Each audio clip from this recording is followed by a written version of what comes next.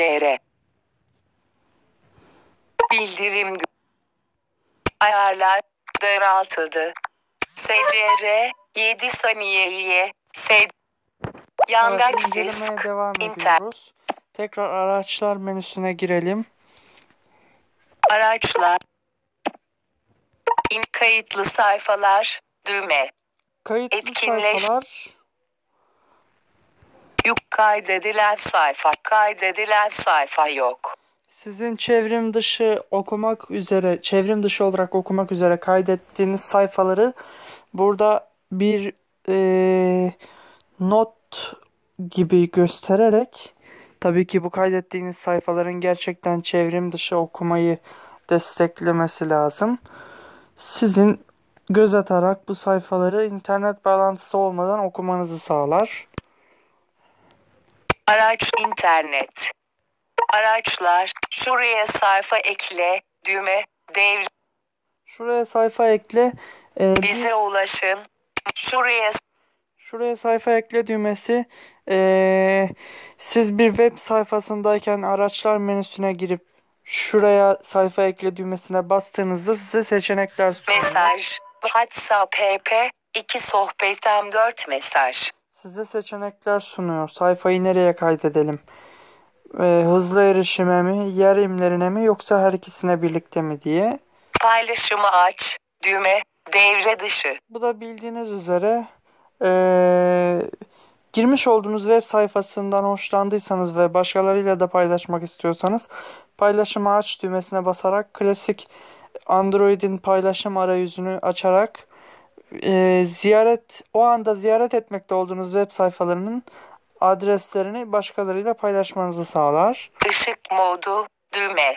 Işık modu Etkinleştirmek için iki kez dokunma. şu anki bulunduğu gece modundan internetin çıkış yapmasını sağlar. Reklam engelleyiciler. Düğme. Reklam. Etkinleştirmek için iki kez dokunma. Buradan buraya girdiğimizde bize, Reklam engelleyiciler. Yukarı git. bize kullanabileceğimiz reklam Kardeş engelleyiciler. kişisinden WhatsApp sesler. Arama. Pardon bir saniye. Reklam engel. Kaydı kontrol edeyim de. Bildirim gölge. WhatsApp.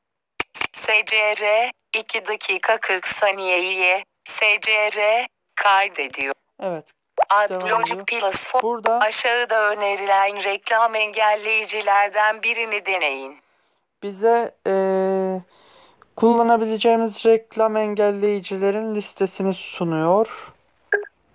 12 öğeden 3-12 arasındakiler gösteriliyor. Bu listedekilerden dilediğimizin sağ tarafındaki indir düğmesine basarak anında reklam engelleyiciyi indir. kurabilirsiniz. Ara sekmeler. Araçlar. Bakalım. Eklentiler. Metin boyutu. Masaüstü sürümü. Reklam engelleyiciler. Sayfada bul. Düğme. Devre dışı. Sayfada bu Bize özelliği ulaşın. Sayfada Tamam. bul. Düğme. Devre dışı. Bize Ya ulaşın. dursana Sayfada bul. ya. Düğme. Devre dışı. Sayfada bul özelliği sizin ziyaret etmiş olduğunuz ve o anda gezinmekte olduğunuz web sayfasında Mesaj. Bize ulaşın. herhangi bir Sayfada bul. Düğme. Devre dışı. kelime aramanızı Bize ulaş. sağlar. Masaüstü sürümü. Düğme. Devre dışı. Masaüstü sürümü de adından da anlaşılacağı üzere ziyaret etmekte olduğunuz web sayfasının eee masaüstü sürümünü karşınıza getirmeye yarar. Metin boyutu. Düğme.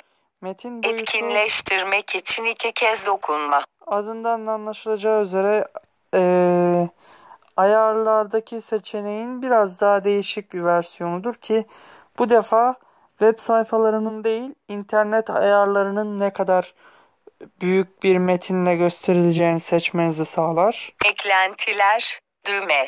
Eklentiler dediği burada Eklentiler. Yukarı git. Düğme.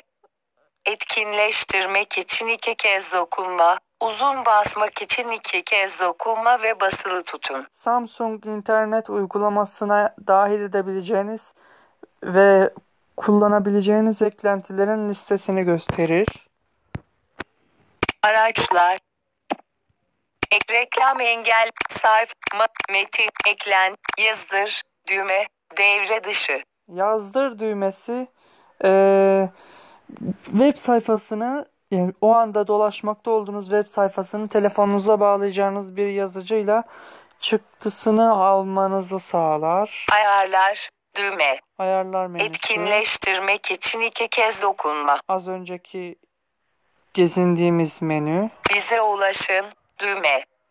Etkinleştirmek için iki kez dokunma. Bize ulaşın düğmesi de eee, Samsung yetkili servislerine ulaşarak uygulamanın sorunları varsa bunları bildirmek veya uygulama hakkında görüşler sağlamak için e-posta adresi gibi iletişim bilgilerini gösterir. Hızlı ayarlar. Son uygulamalar. Son uygulamalar. Samsung internet kaldırıldı. Touch Anna SYF. Uygulamaları ara. Düzenleme kutusu. Uygulama bu şekildeydi arkadaşlar. Ee, zaten tarayıcı kısmı hani internette dolaşmak falan sizin kendinizin de keşfedebileceğiniz bir olay. Ee, işin ilginç tarafı bu yeni Samsung internet sürümünün Voice Assistant'la uyumsuzluk çıkartırken TalkBack'le hiçbir uyumsuzluk sorunu çıkartmadan uyumlu çalışabiliyor olması. Bu da ayrıca değişik bir konu yani. Bugünkü içeriğimiz de bu kadardı. Her şey gönlünüzce olsun. Hoşça kalın.